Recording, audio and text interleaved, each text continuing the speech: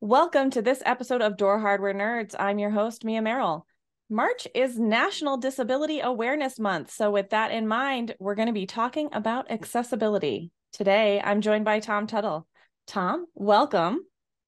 Can you tell us about your role?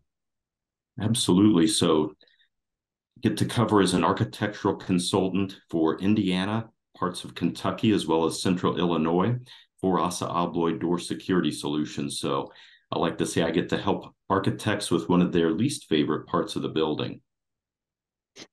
All right. Yeah. Well, we're very glad that you were able to join us today. And uh, I hear that you're a little bit of an accessibility nerd. So uh, glad to have you on the channel. Thank you. All right. So, can you talk to us a little bit about the origination of the Americans with Disabilities Act of 1991? 1990. Yeah. So when it came on the scene, I was actually studying human resources uh, management back in the day. So it was this big set of rules and laws that a lot of people didn't know a whole lot about. And there's still quite a bit of misperception where people think it's actually a code when it's not. It can become more of a standard for making buildings accessible. So there's always confusion there. Uh, unfortunately, there could be lawsuits. So addressing these properly up front really becomes critical. Yeah. And so, how did that affect as you transitioned into the hardware industry? Yeah, so when I first got in, there were quite a bit of knobs still being used. There's still a few exceptions for government entities where they may allow the use of knobs, but most of those facilities are moving away from that standard. Uh, where we really struggled as an industry was you can put so much more torque on a lever versus a knob set. So redesign, proper spring retention, and the ability to hold up under use and abuse uh, was a major step forward for our industry. The nice part is it's made buildings a lot more accessible for folks, whether sight impaired or in wheelchairs or walkers, to make things much easier to use, things that you may not realize. Uh, but I think you might have mentioned that there's a standard out there about people dealing with that over their lifetime. Yeah, so I think I've mentioned it on the channel before, but something that it's since I've heard it, it's bothered me is that at some point during our lives, uh, almost all of us are going to become partially uh, disabled or accessibility challenged, whether it's through you know injury or you know as just getting older um, or you know permanently disabled from something else.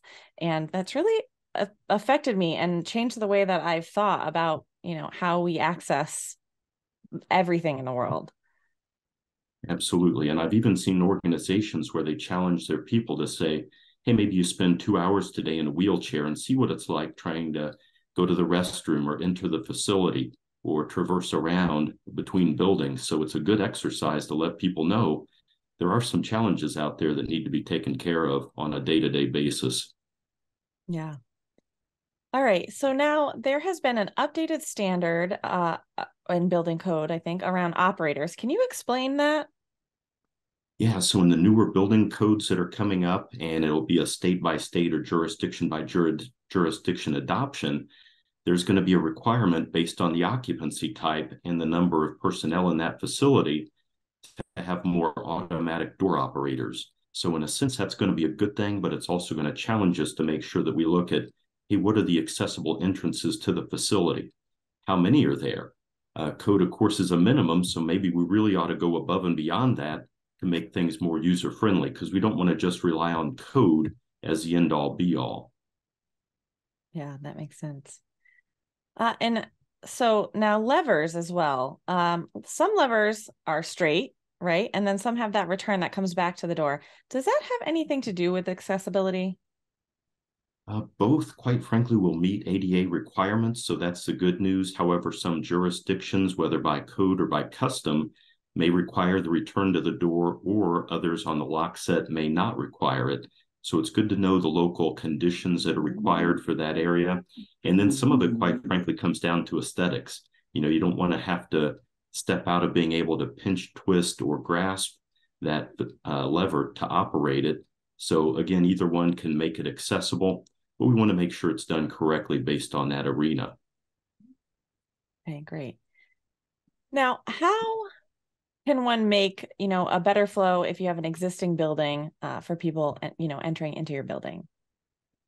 Well a classic approach is to look at security in the facility right? So we look at areas where people should be allowed in should have restricted access maybe there's time zones.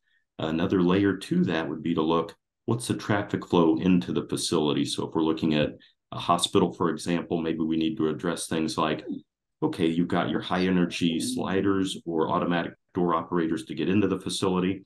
Uh, but even looking at areas like maybe a restroom, mm, perhaps you don't need the full bore automatic door operator for the front entry, but maybe using a lower cost option there with touch free actuators to make it user friendly. Okay. Um, what would you recommend if I am a building owner uh, and I need to take a first step for increasing accessibility? Uh, probably a first step would be survey some of your local employees to make sure they're able to get into the areas that they'd like to access. Another one you could take a look at there's some packages put together with door actuators, maybe even touchless or wave actuators, uh, power supplies, and so forth, where you can order those in and add them to the opening without breaking the budget. So I would highly recommend folks take a look at those. Okay. Uh, any final thoughts you want to share with us today? Uh, just again, take a look at the overall facility. Don't wait for the yearly inspection to come through, like there's Joint Commission and Healthcare or some others, uh, but address them on bite sized chunks so you can address them in a more manageable, budget friendly approach. Wonderful. Well, thank you for joining us today. Uh, for more information about door operators, I will put a link below. Uh, also, the Good Design Studio is another great resource, so I will also leave a link below for that.